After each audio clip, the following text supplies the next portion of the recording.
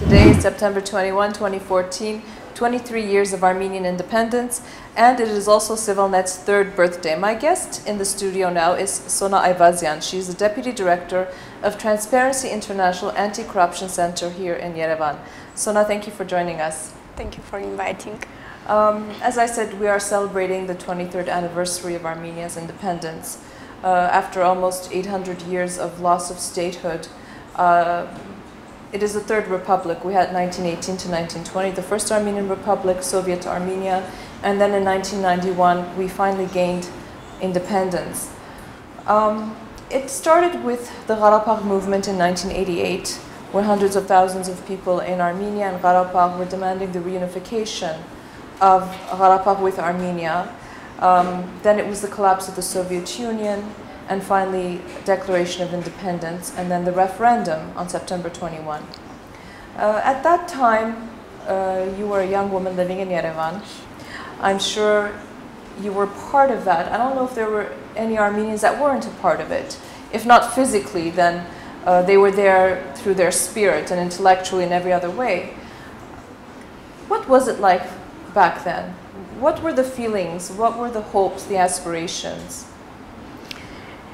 My memories are very positive, of course, because I was young and the mood of the people during those times was completely different from now. Uh, that was a national revival. Uh, we were, we had expectations. We anticipated something new, uh, uncertain, but something optimistic. We were understanding that we are we are living in some historical moment, and. Um, wanted to make our own uh, work, our own participation in that um, building of a new uh, nation, new society. Uh, I don't remember the exact date of independence for some reason, uh, but, but I remember those weeks and days uh, and months of uh, enthusiastic feelings. Um, we were just expecting something very colorful, bright. Mm -hmm. Uh, that, that's again, it's associated with the young year, years of youth, of course.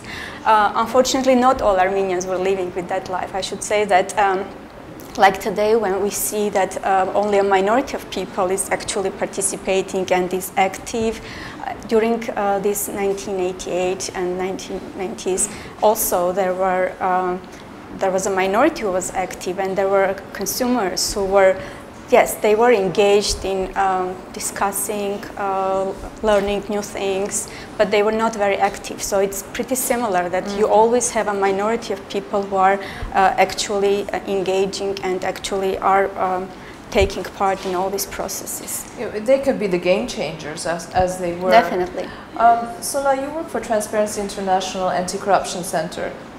Uh, your work is not an easy one, what you do you have to deal with all of the, the challenges that the young Republic uh, of Armenia faces.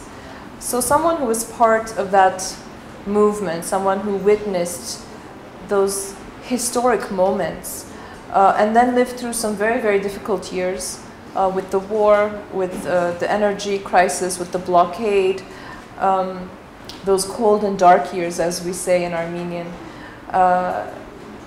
And the political upheavals. Um,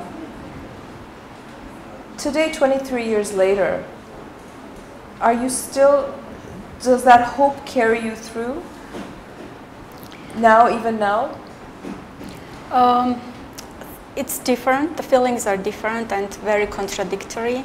Uh, but there is a hope, of course. Uh, I am not the one who says that everything is done with this country and the country doesn't have a future. No, I don't think so. And I think it, the country has a future and we are responsible people who has to develop that future. Uh, I think that when we got independence, it was a historical moment. It was um, a matter of circumstances to some extent and we uh, took this independence for granted and even though more than 99% of people voted yes uh, I don't think they all understood what is independence, what would mean it for, for Armenia. And I don't think anyone understood because it was, things were changing, the Soviet Union collapsed, nobody would envision, uh, envisage uh, what is going to happen within a few years. We didn't have um, war as such mm-hmm. yet. It, we had instability on the borders and in Karabakh, and we had Sumgait, we had earthquake, but we didn't have the war. We didn't have these uh, years of disappointment, of um, economic collapse, and uh, we didn't really imagine what would happen. So that's why that's one of the reasons that we were so enthusiastic and hopeful uh, when we were going to say yes but still it was a right decision. But I think that because we took it for granted, because the war took uh, so much attention from us, and after the war things kind of changed, and everyday economic and social problems that we were being faced um, kind of ma made, made us um, uh, go far from this idea, mm. concept of independence. We didn't realize what we have and uh, I think during these last years when we started uh, losing some uh, in some um, parts of independence step by step, we started realizing that okay, we had this and we are not able to sustain it. And um, that's my feeling as well. That I kind of um, reassessed, the, reevaluated this concept uh, during these last years, and especially last year when we had this sudden uh, shift in foreign shift policy. in foreign yeah. policy, yes, and uh, auto autocratic decision making mm -hmm. and um, one man decision making basically, and uh, losing our sovereignty in the area of customs policy, in the area of energy policy. Uh, so we are step by step kind of becoming a part of uh, um, Russia, or I hope it will not happen mm -hmm. ever, but still the process that the, uh, our uh, government is taking us today is not, um, it's very kind of diverging from the mm -hmm. independence the concept. concept. Right.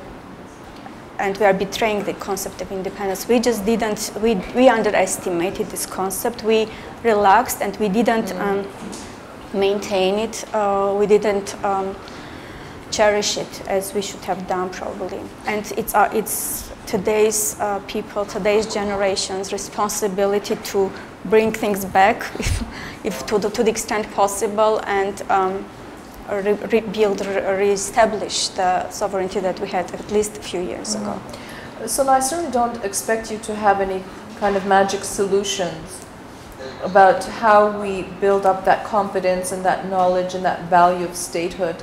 Uh, you mentioned the new generation that we oftentimes call the independence generation, that generation today that was born in the early part of the 90s who grew up with Armenia. For them, Armenia was always independent. What is, what is it? Is, it? is it education? Is it the fact that we, did, we haven't had statehood for centuries, that we don't know how to govern ourselves? What is going to be that key that one moment in history that's going to change the paradigm, that's somehow going to make us wake up and understand that this is what we have these recognized borders of the Republic of Armenia, and we have Nagorno-Karabakh, who after after a four-year war was able to, you know, uh, to survive. What is it? what is it going to take for us to be able to start changing the mindset? Um, I don't think with the, the mindset. Um, so we are changing it uh, every day, step by step, and a lot of people and a lot of organizations are engaged in changing the mindset.